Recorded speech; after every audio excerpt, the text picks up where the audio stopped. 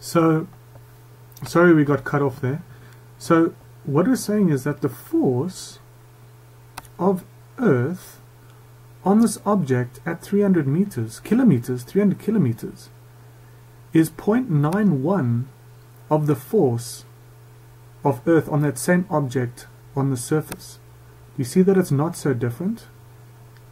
What about the acceleration? Right, so the next question is what, what about the acceleration? So we know that the acceleration near the Earth's surface is g, is 9.81. And if you multiply that, that factor, 0.91, um, you multiply that by, by g, you will have an acceleration of 8.9.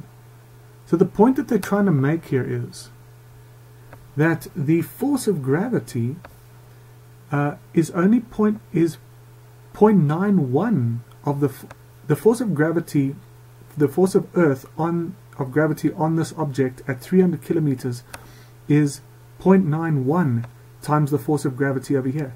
It's very similar. And the acceleration is also very similar, 9.8 versus 8.9.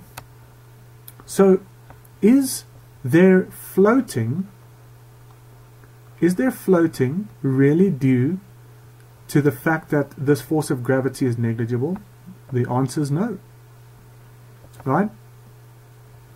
So what is um, so we've we've answered C. What is the acceleration due to gravity at 300 kilometers?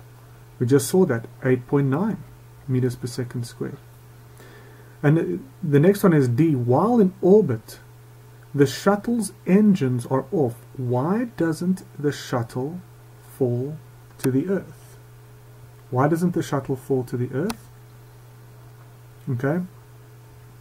This is because the shuttle travels at such a high speed that the gravitational force, so remember if you've got this, ob uh, you've got uh, Earth there, and you've got, say, you've got the shuttle that's moving tangent, right? It's moving like that.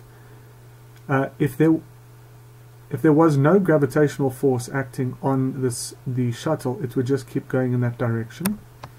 But because there is this um, acceleration equal to v squared over r, it keeps pulling it to the center.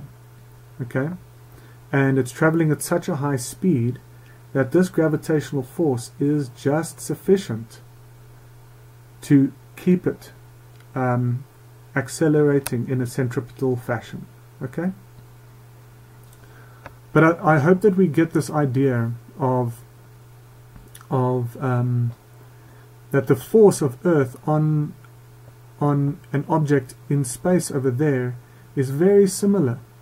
So it can't be because this force of gravity is so small that that's why they have this weightlessness. Okay?